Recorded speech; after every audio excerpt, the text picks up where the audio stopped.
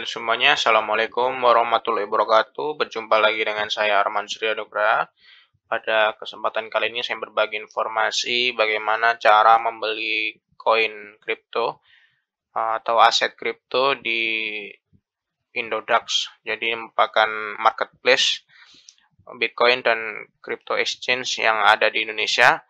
Kelebihannya di sini sudah banyak sekali yang sudah menggunakan uh, website ini atau aplikasi apabila di Android. Sudah 4 juta lebih hampir 5 juta pengguna. Dan ini lebih penting lagi sudah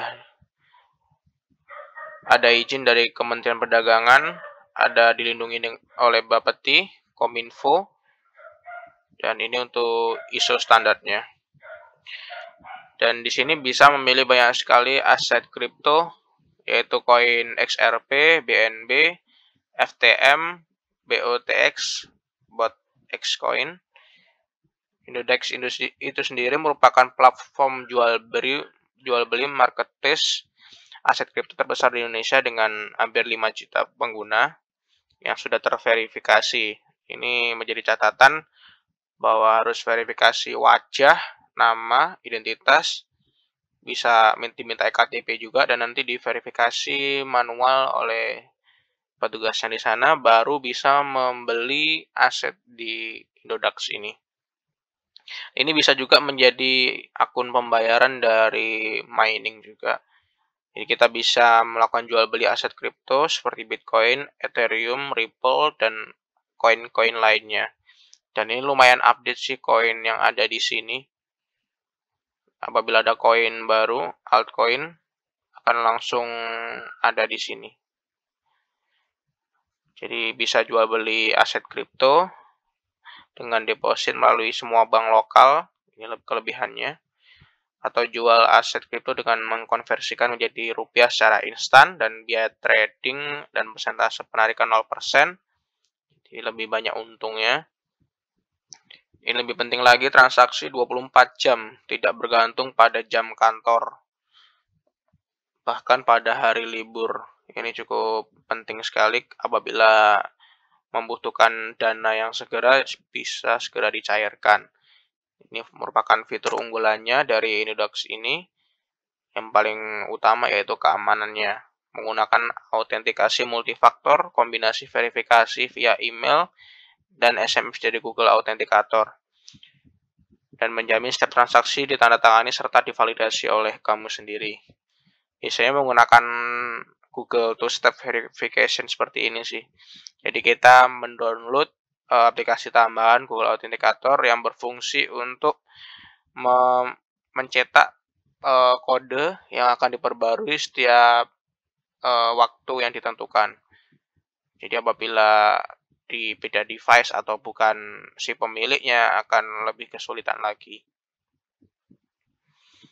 Jadi ini bisa menggunakan aplikasi tambahan tadi atau menggunakan USB ini. Jadi hanya kodenya itu tersimpan di USB ini dan apabila kita colokkan langsung terbaca kodenya. Bisa juga melalui SMS. Jadi aset kita yang di kripto tadi karena tidak ada kantornya atau apanya, bisa lebih aman sebagai penjaminnya. Kodenya seperti ini akan selalu diperbarui dan membuat bisa lebih aman. Fitur lainnya yaitu kemudahan bisa melacak transaksi jual beli yang dapat diakses melalui PC, tablet maupun smartphone dan efisien store rupiah maupun aset kripto dengan cepat tanpa penundaan dalam waktu kurang dari satu hari. Ini lebih penting lagi, biasanya sih lebih lebih dari satu hari. Ini cukup dari kurang dari satu hari. Dan ada call centernya. Apabila ada gangguan atau memerlukan bantuan, ada support sistemnya. Ini merupakan penjelasan dari aset kripto di sini juga ada kalkulator aset kripto dan harga saat ini satu BTC itu 715 juta rupiah.